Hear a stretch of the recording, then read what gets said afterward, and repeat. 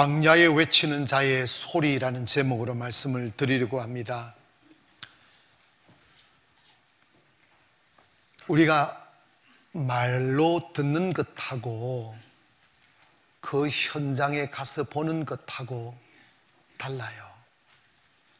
그리고 우리가 사람이나 하나님이나 어떤 존재이든 간에 이렇게 간접적으로 듣는 것을 내가 알고 있는 전부라고 생각하면 오해가 될 가능성이 많아요. 세례 요한이 일어나 하나님의 말씀을 전할 즈음에는 이스라엘 나라가 하나님의 계시가 끊어진 지 400년이 훌쩍 지난 영적 암흑기의 깊은 흑암 속에 있었습니다. 하나님을 전하는 선지자도 없고 복음을 전하는 사도들도 없는 그래서 어둠 속에 있었던 시대에 세례 요한이 등장했습니다.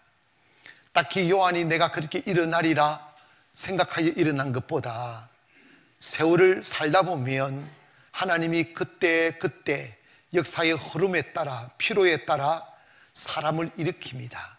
근데 일으킬 때, 아, 저 사람은 될만하네 라는 사람이 아니고 전혀 예상 밖의 사람들을 일으키십니다.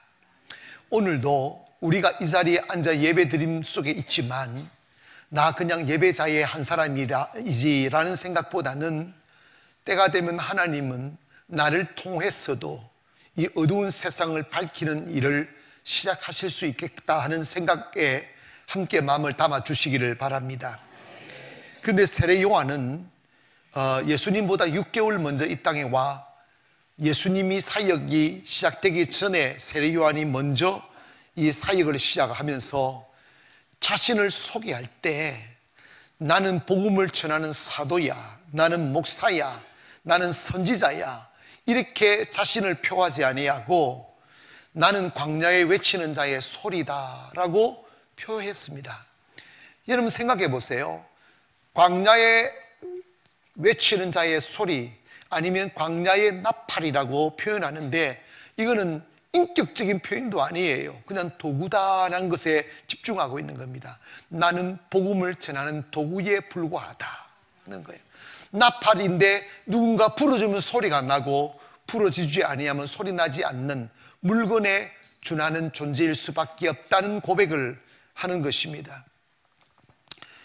한 번은 세례 요한이 이렇게 많은 하나님의 새로운 이런 생각해봐 영적 암흑기에 아무도 복음을 전해주지 않은 그 어둠 속에 갇혀 있는 백성들에게 세례 요한이 나타나 율법이 아닌 복음으로 아니면 제사가 아닌 믿음으로 구원을 받을 길이 열리고 메시아가 이 땅 오시어 이 땅을 구원할 것에 관한 말씀을 전하다 보니까 수많은 사람들이 요한을 따랐습니다.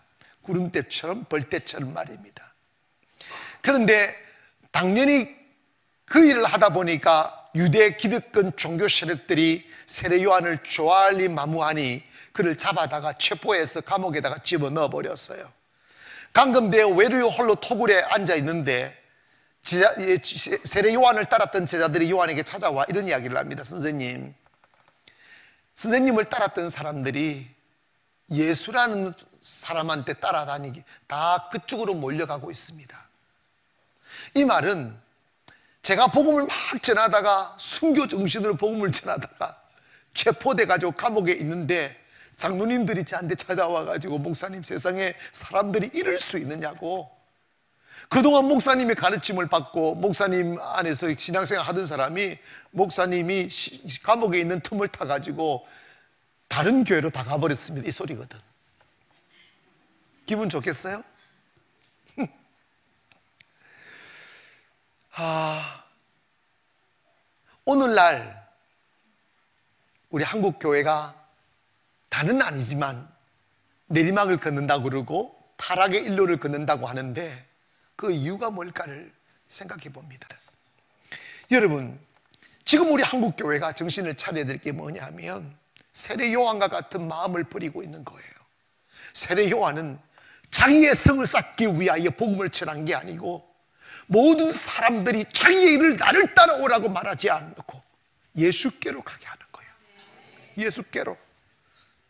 그 외로운 시간에 세례 요한을 따랐던 사람들이 예수님을 따른다는 예, 세례 요한의 제자들의 보고를 듣고 세례 요한이 이렇게 말합니다. 그것을 원망하지 말아라. 그분은 흥, 흥하여야 하겠고 나는 쇠하여야 하리라. 나는 그분의 신들매의 풀기도 감당할 수가 없다. 그러면서 자기를 따랐던 사람들이 예수님께로 가는 것을 기뻐했어요. 그런데 여러분, 우리 한국교회는 어떻게 가르치느냐 하면 한 교회를 대대로 섬기는 가정이 위대한 가정이고 축복의 가정이라고 막 하니까 자기 아, 이런 이야기 합니다. 우리 교회는 이 교회를 지금 3대째 섬기는 건물입니다. 이걸 우상화하고 있어요. 그런데 제가 곰곰이 성경적으로 곰곰이 보니까 이거는 절대 성경적인 사상이 아니에요. 목사님들이, 목사님들이 욕심을 부리는 거예요. 여러분, 하나님의 뜻은 한 지역에 머물며 한 교회만 지켜가며 그렇게 예배만 드리며 교회 지킴이로 살기를 원하지 않아요. 교회는 건물이 아닙니다. 교회는 인간의 집단이 아닙니다. 교회는 영혼을 하나님을 가슴에 모셔드린 살아있는 영혼이 교회인 것입니다. 때문에 우리는 이 교회가 나 혼자 우리 가정만 구원시킬 것이 아니고 열방과 민족과 세계를 변화시키기 위하여는 땅끝까지 가야만 되는 것입니다. 아멘 합시다. 그래서 저는 소원이 있습니다. 우리는 정말 이게요, 저 객기가 아니에요.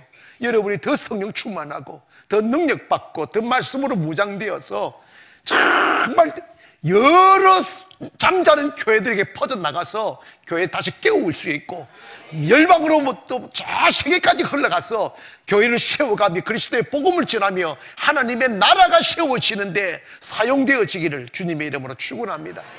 여러분 지금 있잖아요. 교회가 살아나야 됩니다. 교회가 어떻게 하든지 간에 제가 이번에 이스라엘 가면서 뭐 기념교회라고 하는데 가니까 너무 충격적인 게 교회가 아니더라고요. 완전, 완전 예배자도 없고 그냥 구경꾼들만 왔다리 갔다리 왔다리 난 너무 슬펐어요. 죽어 있어요. 건물만 등간히 있어요.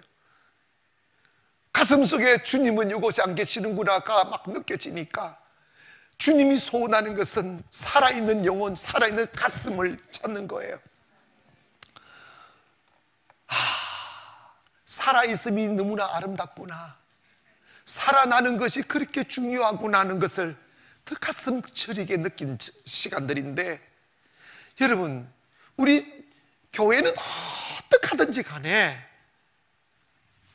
나만 바라봐라. 이거 되면 안 돼요. 목사가 사람을 얻으려고 하면 안 돼요. 교인 늘리려고 하면 안 돼요. 영혼을 살리려 해야 되고 그 살아있는 영혼이 세상을 퍼져나가서 그리스도의 복음을 전하고 하나님의 나라를 세우는데 초점을 맞춰야지. 응? 그 사람 안 뺏기려고 몸부림을 치고 자기가 채워주지 못하고 자기가 만족시키지 못하는 그 슬픔은 생각하지 않고 그 배고파서 목이 말라서 살기 위하여 몸부림치는 사람을 저주하면서 말이 되느냐 이 말이 그거는 계모 중에 계모기 때문에 그 짓을 하는 제가 약속합니다 제가 은혜가 떨어지고 도저히 이곳에서 영원히 살 수 없다고 여기지는 난 여기지는 순간에 뒤도 돌아보지 말고 떠나가세요 그나 진심이에요 나는 영혼을 죽이는 킬러가 되고 싶지 않아요 왜냐? 그 심판을 어떻게 받겠느냐 이 말입니다. 유대 종교가 영혼을 살릴 생각하지 않고 종교의 틀을 만들어서 사람들을 굴복시켜서 자신들의 명예와 배부름을 채우기 위하여 그런 것을 그것을 추구하다가 예수 십자가 못 박았고 그 지금도 그렇게 하고 있는 그, 그 저주의 땅을 나는 보고 왔다 이 말입니다. 여러분 오늘 이 시간에 정말 영혼을 살리는데 목숨을 걸기를 주의 이름으로 축원하고 복음을 위하여 내가 죽어야 되고 그리고 내 사람을 만들려고 하면 안 되는 거예요. 예수의 사람을 만들어야 된다. 얼마나 얼마나 섭섭하겠습니까? 나를 따랐던 사람들이 예수님을 다 예수님께로 가버렸다 말입니다. 이 말은 뭐냐면 아 예수님하고 요한이 그런 감점이 아니라니까. 그 당시에는 예수님이 하나님의 아들인 것을 아무도 몰랐잖아요. 그러니까 이거 이게 뭐냐면 내가 열심히 성도들을 예수 믿게 만들었는데 다른 다른 목사한테로 가버렸다. 이렇게 더 영끌이는 목사에게로 가버렸다. 이렇게 되는 거예요. 기분 나쁘겠지. 섭섭하겠지. 그러나 어떻게 세례 요한은 그분은 흥하여야 하겠고 나는 쉬하여야 하리라고 말할 수 있게 되느냐 이 말입니다. 여러분 우리 복음 앞에 교회 앞에서 우리 모든 그리스도인들은 이런 태도를 취하기를 주님의 이름으로 축원합니다.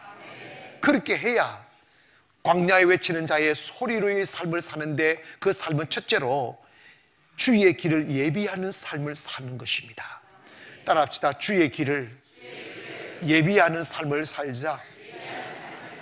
2절에 보니까 그가 내 길을 예비하라고 기록했고 3절에도 너희는 주의 길을 뭐하라고 해서 준비, 뭐 예비라고 하니까 하라고 이렇게 말씀하고 있는데 여러분 예전에 지금도 마찬가지입니다만은 애들이 왕들이 어떤 행차를 하려 할 때 신하들이나 경호원들이 이렇게 미리 가가지고 그 길을 다 정찰하고 언덕에서 뭐 깎고 펴고 이렇게 길을 딱 닦듯이 우리 그리스도인의 삶의 가장 중요한 가치는 내 삶을 사는 게 아니고 주님의 길을 예비하는 삶을 살아야 된다는 거예요. 여러분, 길이라는 것은 복음에 있어서 길은 뭔, 첫째로 뭘 의미하느냐 하면 우리 마음을 의미합니다. 마음. 사람은요, 복음은 마음으로 들어오는 거지 머리로 들어오는 게 아니에요. 마음이 열려야 됩니다. 그런데 우리 안에는 높아, 그리스도를 아는데 높아진 교만의 생각이 있고, 그리고 상처들이 있고, 고집이 있고, 그리고 견고한 진들이 우리 안에 가득 가득 채워져 있어요. 근데 여러분 이것이 주님의 복음이 들어와 내 안에 생명이 되고 삶이 되려면 높아진 것이 흘러야 돼요. 낮아져야 돼요. 교만한 바위 덩어리가 깨어져야 돼요. 그래서 여러분 어떤 선입관념이나 욕심이나 탐심이나 아니면 고정관념을 버리고 이걸 깨야 돼요. 깨어서 마음을 깊게 순수하게 마음의 문을 활짝 열어야 돼요. 성령을 받을 때 제가 강조하는 것 딱 하나가 있어요. 그게 뭐냐면 생각을 버리라. 마음을 열어라. 이거예요. 생각을 왜 버리라고 하느냐 하면 무아지경에 이르르라 이 말씀이 아니라 여러분의 고집과 선인관념 사람은요 하나님에 의하여 배운 종교적인 지식이 아니라 사람들에 의하여 들은 종교 지식이 우리 안에 가득 채워져 있어요 어떤 목사님들에게 다 배움, 배웠겠지만 그것이 맞을 수도 있고 틀릴 수도 있어요. 인간적인 주관적인 자기 생각을 말할 수도 있다 이 말입니다. 그래서 하나님은 논리가 아니고 살아있는 인격이심으로 성령은 우리의 생각을 증복하는 거예요. 성령은 우리의 이성과 지성을 증복하는 거예요. 그래서 내가 하나님에 대하여 어떤 선입관념적 그림을 딱 그리고 있으면 하나님은 들어올 수가 없는 거예요. 하나님을 신뢰하고 두려워하지 말고 하나님을 신실하신 분으로 인정하면 여러분의 어떤 사전 지식을 버리고 하나님의 하나님이 순수하게 성령으로 내게 임재하기 위해서는 우리의 고정관념을 버려야 되는 거예요. 다 버리고 성령님 임재하시면 나는 환영합니다 하고 내 마음의 문을 탁 열어 드릴 때 성령이 임재하는 거예요. 때문에 우리가 주의 길을 예비한다 이 말은 우리의 마음을 연다. 우리의 마음의 모든 교만을 버린다. 높아진 생각을 버린다. 그래서 겸손하게 주님께서 임재하실 수 있도록 순수한 마음을 가져드린다 하는 의미가 될 수가 있습니다. 그래서 우리가 주님의 말씀이 이렇게 들어오면 우리 안에 주의 말씀이 나를 치유하게 되고 나를 행복하게 만들어주고 온전하게 만들어주고 내 삶을 가치를 바꾸는 거예요. 즉 뭐냐면 모든 사람은 본능적으로 삶의 초점이 어디에 맞춰져 있느냐 하면 자기에게 맞추어져 있어요. 이게 생존의 본능입니다. 그래서 다 내가 배불러야 되고, 내가 좋아야 되고, 내가 성공해야 되고, 그래서 모든 사고의 그 기준점이 어디에 가 있느냐? 자기 만족에 가 있어요. 근데 주의 길을 예비하는 사람의 변화가 뭐냐면, 자기 중심에서 예수님 중심으로 바뀌는 거예요. 내 만족에서 하나님 영광으로 바뀌는 거예요. 그래서 우리, 우리의 인생은 뭐냐면 나의 성공을 위하여 살거나 나의 배부를 위하여 사는 게 아니고 복음을 위하여 사는 거예요. 이해가시면 아멘. 그래서 하나님 영광 먼저 하고 하나님의 뜻을 먼저 구하고 하나님의 나라를 세우는데 인생을 바치는 삶을 살아야만 되는 것입니다. 사랑 여러분, 제가 저는 사실 아 열심히 목회하고 딱히 뭐 큰 꿈보다는 이제 우리 세부의 학교하고 고안하고 여러 일들을 하고 있어요. 거기서 수많은 사람들을 길러서 그분들로 하여금 이렇게 세계를 나가게 만들어 줘야 되겠다는 생각 그것을 하기 위해서 좀 더 열심히 해야 되겠다고 생각했는데 저, 저 이스라엘 다녀오면서 일주일 동안 제 마음을 부담스럽게 했던 게 하나가 있어요. 그게 뭐냐면 이것 가지고는 안 된다. 우리 교회가 지금보다 100배 이상은 영향력이 커져야 된다. 더 영권이 있어야 되고 나라를 움직이는 힘이 있어야 되고 세계를 움직이는 힘을 가져야 되겠구나 하는 그것은 어떤 정치적인 힘이 아닌 하나님 주시는 힘을 가져야 되겠구나 하는 그 생각을 했습니다. 그래야만 여러 열방을 살릴 수 있겠구나 하는 그 생각 때문에 다시 무릎을 꿇게 되었습니다. 사는 성도 여러분, 주님의 마음을 담아서 주님이 하시고자 하시고자 원하시는 그 일을 우리가 하고 주님이 가시고자 하는 곳에 우리가 갈 수 있는 자 되고 특별히 죽어 있는 영혼들을 살리는 역사들이 있기를 주님의 이름으로 축원합니다. 그러기 위해서 우리의 삶을 내 만족, 내 성공에다가 주지 말고 주님의 길을 예비하는 길, 주님의 길을 준비하는 데 인생을 쏟기를 주님의 이름으로 축원합니다. 그러기 위해서는 두 번째로 뭐 해야 되느냐 하면 우리의 어둠을 우리의 죄를 자복해야 됩니다. 따라합시다. 우리의 죄를 자복하자. 이거 뭐냐면 회개하자 이 말입니다. 회개는 왕도 해야 되고 서민도 해야 되고 평민도 해야 되고 다 해야 되는데 세례 요한이 유대 사회 유대인들을 향하여 제일 먼저 입을 열었을 때 한 말이 이 말이 무슨 말이냐면 사절에 보니까 뭐 하라고 그랬어요? 세례 요한의 시작. 세례 요한이 광야에 이르러 제3을 받게 하는 회개의 세를 전파하니. 이게 뭐냐? 세례 요한이 제일 먼저 한 일이 뭐냐? 회개를 외치기 시작하는 거예요 예수님도 예수님도 15절에 가면 공생애 때 예수님도 이런 말씀 하셨습니다 이르시되 때가 찼으니 하나님의 나라가 가까웠으니 뭐하고 회개하고 복음을 믿으라고 했습니다. 이게 뭐냐면 우리는 먼저 뭐 해야 되느냐 회개를 해야 되는 거예요. 여러분 회개는 우리의 잘못을 잘못했습니다라고 고백하는 것도 회개죠. 그러나 진정한 의미에서 회개는 turn around예요. Turn around는 뭐냐면 뺑 돌아가지고 360도 도는 게 turn around일까? 돌기는 한 30도 도는 게 턴 어라운드일까? 회계는 몇 도를 돌아야 될 것 같아요? 어? 우리는 한 10도 정도 돌아, 조금 돌았다고 원했죠. 조금 돌았다고 원했죠. 이거 회계가 아니에요. 회계는, 그리고 너무 또 돌아버리면 안 돼. 뺑 돌아가지고 제자리 와버리면 거기가 360도 도는 거예요. 회계는요, 180도만 돌아야 돼요. 아멘. 딱 뒤돌아서는 거예요. 이게 뭐냐면 자기 중심에서 예수님 중심으로. 할렐루야. 회개의 진정한 의미는 주님께로 돌아가는 거예요.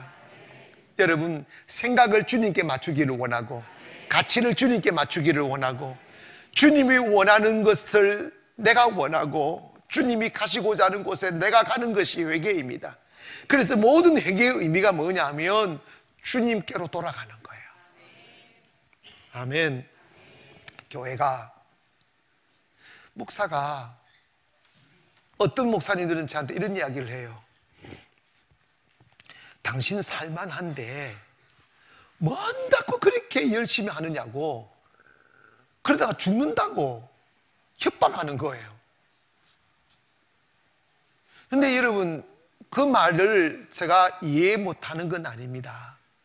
그러나 여러분 인간적 사고의 가치로 판단하게 되면 성공을 찾지만 신앙생활은 성공으로 가는 길이 아닙니다. 신앙생활은 축복을 받는 것이 가치가 아닙니다. 성공하고 실패했으면 그것으로 하나님의 일을 하는 거예요. 더 열심히 사람을 살리는 것이고, 더 열심히 열방을 살리는 일이에요. 아멘. 때로는 피곤도 하죠. 제가 지난주에는 세부 갔다 왔죠. 이번 주에는 그, 그 뭐지 이스라엘 갔다 왔죠. 또 예배하죠. 쉴 틈이 없고 때로는 몸이 정말 피곤하죠. 제가 관계도 앞에 앞에서 아, 피곤한 척 하지. 하면 그 되는 거 되겠어. 피곤해도 안 피곤한 척 해야죠. 피곤하죠. 그렇지만은 여러분 기억하세요. 이 육체, 이 몸뚱아리 조금 더 편하게 만들고 여러분 좀 배부른다고 무슨 의미가 있겠어요? 아무 의미가 없습니다. 기꺼이 주님의 나라를 위하여 내놓아야 됩니다. 세례 요한은 그 삶을 살았다 이 말입니다. 자기는 나는 세례 요한이야 이러면 안 돼. 이잖아요. 나는 그냥 나팔이야 이러잖아. 나팔이야. 그래서 여러분 우리는 항상 회개해야 돼. 회개는 뭐냐? 자기 중심에서 예수님 중심으로 돌아가는 거예요. 생각을 주님께로 맞추고 가치를 주님께로 맞추고 이 땅에서 편안하고 이 땅에서 배부른데 가치를 두지 아니하고 자 하나님이 어떻게 하면 하나님의 나라를 세울까? 한국 교회가 무너지는 이유가 뭐냐면 유대교를 너무나 담는다는 거예요. 그게 뭐냐면 목사님들이 교회들이 어떻게 하면 하나님의 나라를 세우고 세계에 선교하며 주관 영혼을 살릴까에 몰입하지 아니하고 교회 부흥에만 몸부림을 치는 거예요. 교인 수 늘리는데 몸부림을 치는 거. 뭐 하려고? 편하려고 하는 거예요. 뭐 하려고? 자기들 영광 나타내려고. 아, 나는 대교회 목사야. 여러분, 그런 거 없어요. 그러니까 교회가 망가지는 거예요. 여러분, 세례요한은 그저 하나님의 나라를 세우려고만 했어요. 예수님의 복음만 전하려고 했고, 주님의 길닦기로만 살려고 하는 거예요. 따라합시다. 나는 예수님의 길닦기다. 길닦기는 뭐 구두 닦기라 이 말이야. 그냥 길만 닦아놓고 사라지고 길만 닦아놓고 사라지고 왜 교회가 시끄럽고 말이 많아요? 이게 뭐냐면 전부 다 자기 세계 만들려고 하는 거예요. 자기 세계. 목사도 여러분 봐봐요. 아니 성도들을 살릴 생각 안 하고 자기 잘못해서 떠나가는 성도들을 우리 교회 떠나면 저주받는다고 말하는 그 사기꾼은 목사, 왜 그런, 그런 소리가 나오느냐 하면 자기 세계를 만들려고 하려고 하는 거야. 자기 세계 만들려고. 교회 안에도 마찬가지입니다. 교회 안에 구역에서, 목, 목장에서, 각 기관에서 말이 생기는 게 뭡니까? 시켜놓으면 자기 색깔을 내니까 이게 시끄러운 거예요. 여러분, 이건 비극이에요. 버림받는 징조입니다. 일이 많이 진행되고 있는데, 위대한 업적이 있는데, 뒤돌아보면 누가 한 흔적이 없어요. 이게 주님의 방법이에요. 하면 합시다. 저희 교회가 많은 성교를 합니다. 성교는 많은 물질이 들어가요. 그런데 흔적은 있는데 사람이 안 보여요. 흔적은 있는데 사람이 안 보여요. 그게 주님의 방법이에요. 오늘 우리 주님 따라가기를 주의 이름으로 축원합니다. 가슴 저리게 영혼을 살리고자 하는 열정이 있어야 되고 그래서 우리가 제가 요즘에 세부 갈 때도 우리 부교육자들한테 이런 지시를 하고 왔어요.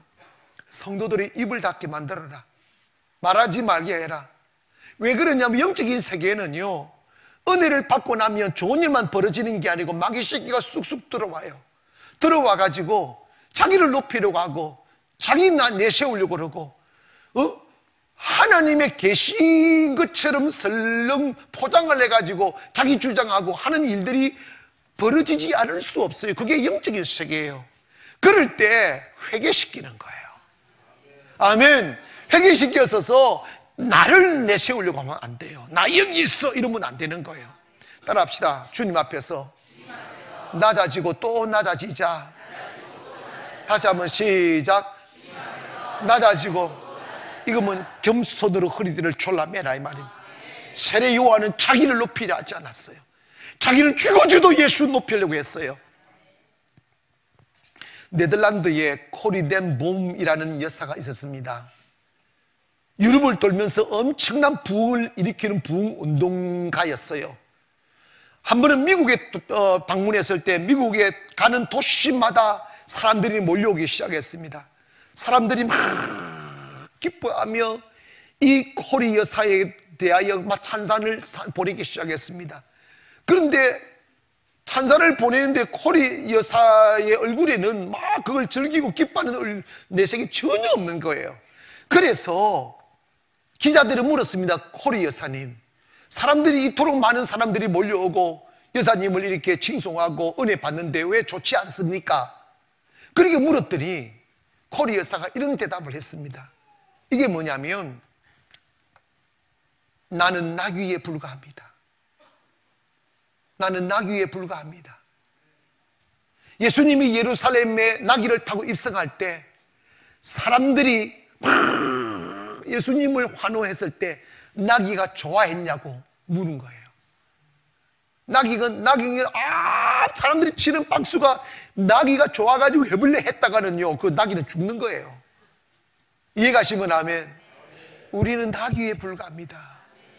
예수님을 얻고 다니는 나귀에 불과하다고요. 왜 우리가 영광을 받으려고 합니까?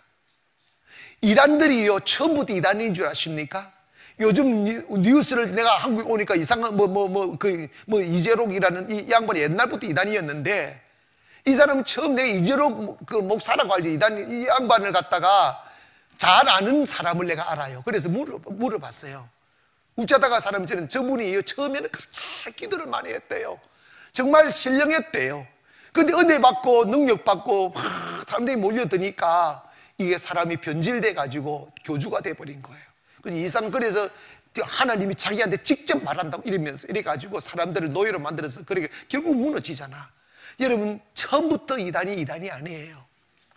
처음에는 겸손했어요. 그런데 좀 잘 되니까 변질되는 거예요. 그래서 여러분 훈련되지 않는 자의 축복은 독약과 같은 거예요. 너무 빨리 잘 되려고 하지 마세요. 빨리 축복받으려고 하지 마세요. 돈이 많아지는 것보다 더 중요한 것은 믿음이 좋아지는 거예요. 지위가 높아지는 것보다 더 중요한 것은 영이 예비되는 거예요. 심령의 겸손으로 무장되어야 된단 말입니다. 여러분, 성도들이 왜 타락합니까? 왜 목회자를 타락합니까? 훈련받지 않아서 그런 거예요. 여러분, 여러분 지금보다 10배, 100배 더 잘 돼도 지금처럼 그렇게 겸손히 섬기시겠습니까? 아멘을 좀 안 하려면 안 해버리고. 우리 교회는요, 우리가 장로님들도, 성가대원들도, 사회적으로는 뭐 그렇게 못난 사람들이 아니지만 아주 겸손하게 섬기고 있어요. 제가 이렇게 이렇게 방을 붙여놨잖아요. 무은의 방. 장로님들의 목이 고다치면 저한테 보고하시라. 그러면 나는 그 목을 잘라버린다. 여러분, 이게 하는 이야기가 아닙니다. 잘 될수록 낮아져야 돼요. 그래서 저희 교회 사람들이 오면 놀라는 게 뭐냐면, 목이 곧은 사람이 없는 거야. 전부 다 야들야들야들하고 겸손하고 징절하고 아, 이 쇼가, 쇼가 아니라니까. 여러분 봐봐요. 내가 배가 부르고 만족한 사람은 폼 잡을 이유가 없어요. 폼을 잡는 것들은 사기꾼들이나 폼을 잡는 거예요. 내가 부족함이 없는데 폼 잡을 이유가 뭐 있어? 아멘 합시다. 그래서 여러분, 우리가 하나님의 사람, 광야에 난 외친 나팔로 살려면 끝까지, 끝까지 겸손해야 됩니다. 보십시다. 그는 흥하여야 하겠고 나는 쉬하여야 하리라. 이 말은 뭐냐면 나는 내 옆에 있는 김 집사는 잘 돼야 되고 나는 못 돼도 좋아. 이 마음이에요. 아멘. 우리 교회는 못 돼도 더욱 좋지만 옆에 교회 잘 됐으면 좋겠어. 이 마음이에요. 그 마음 품는다고 하나님이 짓밟으실까요? 그 마음을 품어야 잘 되는 거예요. 그런데 여러분, 왜 한국 교회는 교회가 교회를 핍박합니까? 교회가 교회를 왜 비난합니까? 시기침 때문에, 욕심 때문에, 그래서 서로 물어뜯고 쥐어뜯고 서로 몰락하는 거예요. 이건 비극입니다. 교회는 그런 곳이 아닙니다. 교회는 살리는 곳이에요. 복음을 전하는 곳이고 영혼을 살리는 곳이에요. 때문에 여러분 좀 잘 되셔도 더 낮아지기를 원합니다. 더 겸손해지시기를 원합니다. 제가 그랬잖아요. 저에 관하여 장로님들이나 성도님들 다른 거는 말하지 마라. 정말 말하지 마. 나안 듣는다. 한 가지만 딱 약속한다 했잖아. 뭐였냐? 제가 기도 안 하든지 교만하든지 그러면 누구든지 찾아와서 목사님 교만합니다 라고 말해라 했잖아. 제가 이스라엘에서 예수님이 다른 거는 다 너무 슬프고 아프고 너무 너무 다 통곡하고 싶었는데 마지막 날 디아돌로사라의 길 걸어서 예수님이 십자에 못 박히시기 전에 체포당하시고 죽으신 뒤에 예수님을 뉘우쳤던 돌 하나가. 뭐 진짜인지 안 진짜인지는 모르겠어요. 진짜라고 하니까 그냥 진짜라고 믿으려고 그래요. 거기에 그 돌에 진짜로 붉은 피가 이렇게 묻어져 있는 모습, 이렇게 붉은 피가 스며들었다고 하는데 진짜 좀 붉더라고요. 그 돌이 이렇게 있는데 저는 의식주의가 아니라서 그런 거 잘 안 하는데 제가 저도 모르게 그 돌 앞에 무릎이 꿇려졌습니다. 이름 모를 한 여인이 엎드려서 일어나지도 안 하고 그냥 소리 없이 흐느끼 있기에 그냥 지나갈까 하다가 제 발이 떨어지지 않아서 제가 그 앞에 무릎을 꿇었어요. 그리고 그 돌에 이마를 받았어. 이마를 묻었는데 제가 그러니까 우리 모든 성도들이 그렇게 둘러 이렇게 했는데 저도 모르게 막 오열이 나오는 거예요. 참을 수가 없었습니다. 한참 울었습니다. 울고 난 뒤에 주님이 제 가슴 속에 심어준 메시지 하나가 있어요. 내가 보고 있느냐? 나는 살아있는데 교회들이 나를 죽은 자로 만들어버린 이 비극을 보고 있느냐고. 너는 과거 2000년 전에 죽은 예수를 전하지 말고 지금 살아계신 예수를 전해달라고. 생명을 전해달라고. 막그 음성들이 가슴에 진동했습니다. 나는 지금 이곳에 있지 않다고. 전 세계에 살아있는 영혼 속에 들어가기를 원한다고. 그리고 전 세계에 살아있기를 원한다고. 그때 저는 그리고 난 뒤에 다짐했어요. 더 열심히 하리라고. 그래서 우리 교회 영향이 지금보다 100배, 1000배 더 커져서 나라를 움직이고 세계를 움직이는 영적인 힘을 달라고 기도했어요. 그날이 올 것입니다. 사랑하는 성도 여러분, 겸손합시다. 그래서 주님 앞에서 쓰임 받는 그리고 영혼을 살리는 성도가 되어 이 땅을 아름답게 만드는 저와 여러분 되기를 바랍니다. 기도하겠습니다.